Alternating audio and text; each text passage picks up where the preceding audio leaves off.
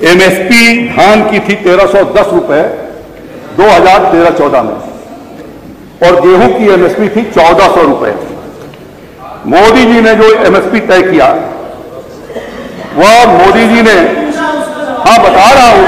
आपने पूछा आपने पूछा। जवाब दीजिए जवाब दीजिए।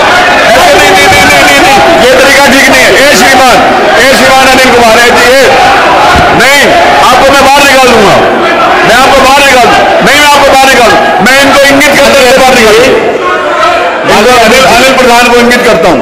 ये तरीका आपको बात करने का ऐसे बात क्या करें, इनको मैं इंगित करता हूँ, इनको बाहर निकाल दीजिए। चलिए बात करिए ये तरीका बात करने का। ऐसे बात करेंगे आप विधानसभा में किसी के साथ।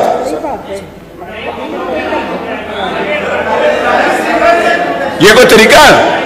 इसको कौन जस्टिफाई करेगा आप लोगों में से? ऐसे ये ऐसे ये कोई तरीका है। नहीं कौन सी ऐसी बात कह रही है जो गैर संवैधानिक थी? और अब आपने देखा हमको कैसे बात कर रहे थे? मैं आपको दिखाऊँ? नहीं जब पूरी जब माने जब सवाल बात सुनिए। जवाब आप- आप- मेरा मेरा आपसे निवेदन है मैं